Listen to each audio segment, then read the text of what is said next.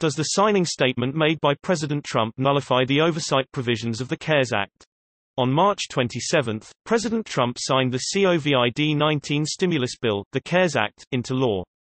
This came after days of debate, where Democratic lawmakers insisted on the inclusion of oversight measures before they would agree to pass the bill.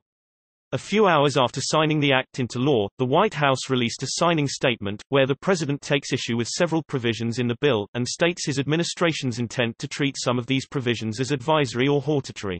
Of particular interest is the following paragraph, Section 4018 of Division A of the Act establishes a new Special Inspector General for Pandemic Recovery SIGPR within the Department of the Treasury to manage audits and investigations of loans and investments made by the Secretary of the Treasury under the Act. Section 4018 E4b of the Act authorizes the SIGPR to request information from other government agencies and requires the SIGPR to report to the Congress without delay any refusal of such a request that, in the judgment of the Special Inspector General, is unreasonable. I do not understand, and my administration will not, treat this provision as permitting the SIGPR to issue reports to the Congress without the presidential supervision required by the Take Care Clause, Article 2, Section 3. This implies that the new position of Special Inspector General for Pandemic Recovery SIGPR will be unable to perform their duties, as the President apparently reserves the right to supervise, and potentially suppress, any reports that the Special Inspector will attempt to make to Congress. Is the President able to effectively nullify these provisions of the bill unilaterally, or does this signing statement have no legal weight until tested in the courts? Are any oversight mechanisms aside from this special investigator available to Congress? Signing statements do not have the force of law. Most often signing statements are used to signify how the president will interpret and enforce the law.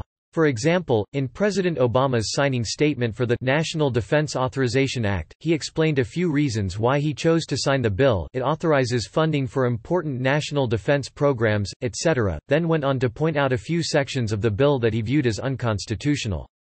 He then stated, my administration will interpret them some of the disputed sections to avoid the constitutional conflict.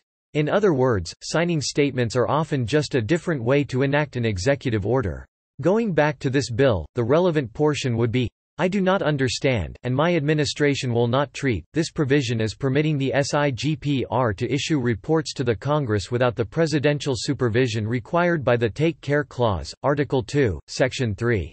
This doesn't nullify the law, it simply says the SIGPR should not report to Congress without reporting to the President first.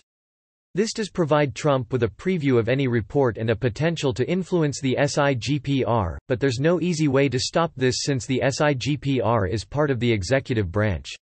Nowhere is Trump stating that the SIGPR is not to report to Congress at all which would be a direct violation of the law.